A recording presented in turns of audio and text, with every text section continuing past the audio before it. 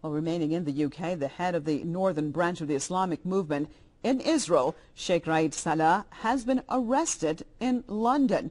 Now, the Arab leader was due to address uh, British Parliament at the invitation of La Labour MPs, but he was arrested on Tuesday night.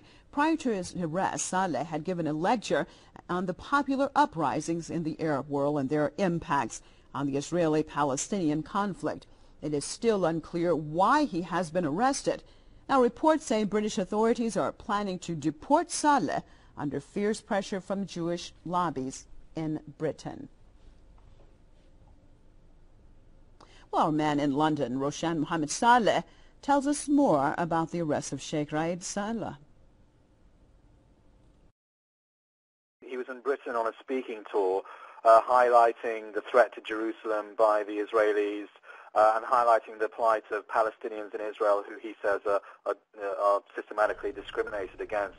And he was also talking about um, the hope of the Arab revolutions influencing the situation inside Palestine. Uh, he was basically um, a guy, he's been arrested many times by the Israelis because of his opposition to Zionism.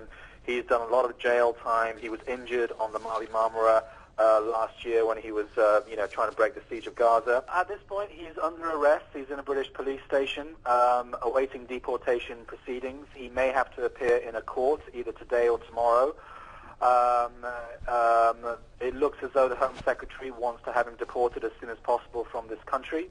On the other hand, his supporters say that he will challenge any deportation proceedings in court, uh, and we'll just have to wait and see. If, if you know, the British courts um, uphold the rule of law, then he may have a chance of delaying those proceedings and, and, and staying uh, in this country and addressing more forums.